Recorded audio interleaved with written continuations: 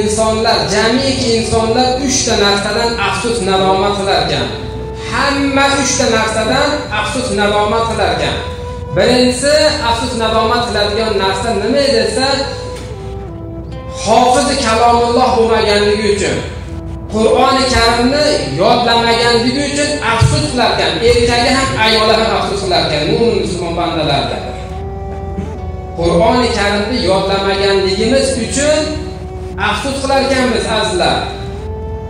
Endi qur'on shunaqa bir ollohni kalomiki uni yodlab unga amal qilinadigan bo'lsa birinchi navbatda to o'sha inson insondan ruh chiqib qabrga tushdimi davri qiyomatga qadar xudoy taolo o'sha jasadni qorini jasadini yerga yer yeyishlikni harom qilgan. Qiyomatgacha jasad chirimaydi azizlar. Qorilarni jasadi chirimaydi bu qandayyam baxt azizlar?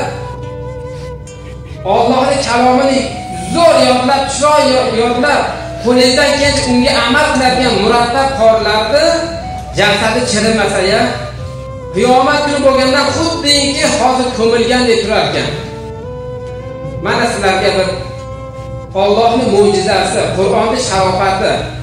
Ana endi murattab qorilarga xudoy taolo aytar ekanki yumgin ko'zingni ey bandam derkan ey qori yumgin ko'zingni jannatni eshigini ochib berar ekan kirgin derkan. Murattab qori o'ng oyog'i bilan jannatga kiryapti auzu billahi minash shaytonir rojim bismillahir rohmanir rohimdan alhamdidan tusharkan sura fotihadan tusharkan to oxirgi bir yuz o'n to'rtinchi sura bo'lgan qul audu bi robbin nasni oxirgi oyatiga yetganda oxirgi oyatni o'qib bo'lgandan keyin ko'zini ochar ekan olloh aytar ekan och ko'zingni bandam derkan ana ko'zini ochganda jannatni eng to'lisiga eng buyuk tabaqasida yetib olgan bo'lar ekan inson qur'onni qancha yodlasa nech bor yodlasa o'sha bir bor yodlasa bir tabaqa. Ikki pora yodlasa yana tabaqa nech pora yodlasa o'shancha tabaqaga ko'tariladi inson. O'ttiz porani yodlaydigan bo'lsangiz jannatni oliy to'ri sizniki bo'ladi azizlar. O'sha qori oxirgi qur'on a'udhu bi robbin o'qib oxirgi oyatlarga yetib borganda oyog'iga o'ta yumshoq bir maysalar tegarkan. Ana endi tugatganing och bandam ko'zingni derganda xudoy taolo ochsaki jannatul firdavsda inshaalloh. Jannatda eng to'g'risi o'sha qoriniki bo'lar ekan o'qiganga amal qilgan riyo qilmagan faqat olloh uchun yodlaganniki jannat to'g'risi bo'ladi muhtaram jamoa. Yana bir yaxshi tomoni shuki qiyomat kunida ollohni kalomi shafoat qiladi oqtaradi sizni. Qorini egasini oqtaradi ixlos surasini zo'r qilib yodlab unga amal qiling. Qiyomatda ixlos surasi sizni oqtaradi. Ey xudo deydi qani mani yodlagan amal qilgan bandang qani deydi mani o'qib yurardi yaxshi ko'rib o'qib yurardi. Qani o'sha bandang topib berar ekan xudo taologa. Topib berar ekan aytar ey parvardigori olam mani suyib o'qirdi bu bandang shafoat qilishlik huquqini manga bergin derkan qur'oni karim aytar ekan qiyomat kunida muhtaram jamoat qur'oni karimdan ko'ra yaxshiroq shafoatchi bo'lmas ekan. Qur'onni haliyam kech emas muhtaram jamoa kunda bir oyat yodlang xudo umr bersa yodlab borasiz. Bu dunyo o'tkinchi. Ertaga yodlayman indiga yodlayman deb umrimiz o'tib ketyaptiyu. Ertadan saharlikni qilib olib og'izni bekitgandan keyin bitta oyat yodlang kunda bitta oyat yodlang e xudoni kuni ko'p muhtaram jamoa xudoni kuni ko'p. Yodlab borasiz. Xudoyda to'qson yil umr bersa yodlab olasiz inshaalloh.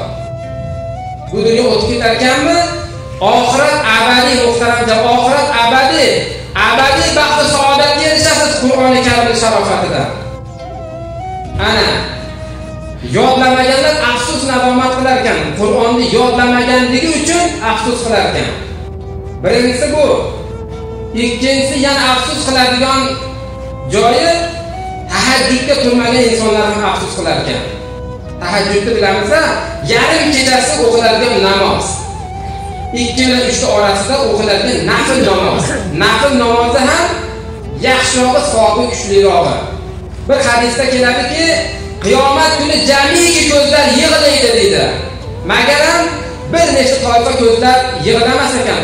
O'shalarni ichida kechalari bedor bo'lib turgan ko'zlar yig'lamas ekan azizlar tahajjudga tursangiz bezorsizda hamma uxlayapti siz tahajjud o'qing. Tahajjud o'qing ko'zingizdan yosh chiqadi. Tahajjud o'qing Allohga yaqinlashasiz. Qani tahajjud o'qib bo'lgandan keyin nimaiki talab maqsudingiz bo'lsa xudodan so'rang xudo beradi. Qiyomat kuni bo'lganda jamiki ko'zlar magar magaram kechalari bedor bo'lgan ko'zlarni xudo yig'latmas ekan kuldirib qo'yar ekan ana ikkinchisi. Demak bugundan turing tahajjudga qo'lingizdan keladi. Og'ir ish emas. Og'ir ish emas.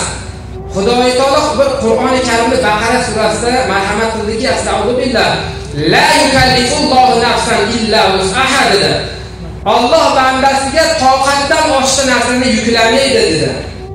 Toqatingiz yetadi to'g'ri tahajjudni Alloh siz bilan bizni zimmamizga qarz qilgani yo'q.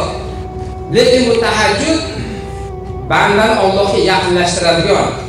Nima hojatingiz bo'lsa yarim kechasi turib tahajjud namoz o'qib xudodan so'rang xudo beradi sizga.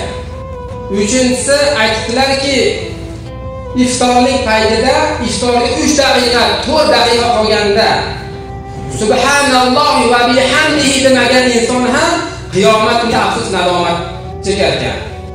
Iftorga uch to'rt daqiqa qolganda shuni ayting subhanalloh va bihamdihi qiyin narsa juda oson. Alloh yaxshi ko'rgan bandasiga oson qilib qo'ygan buni. Siz bilan bizga oson qilgan.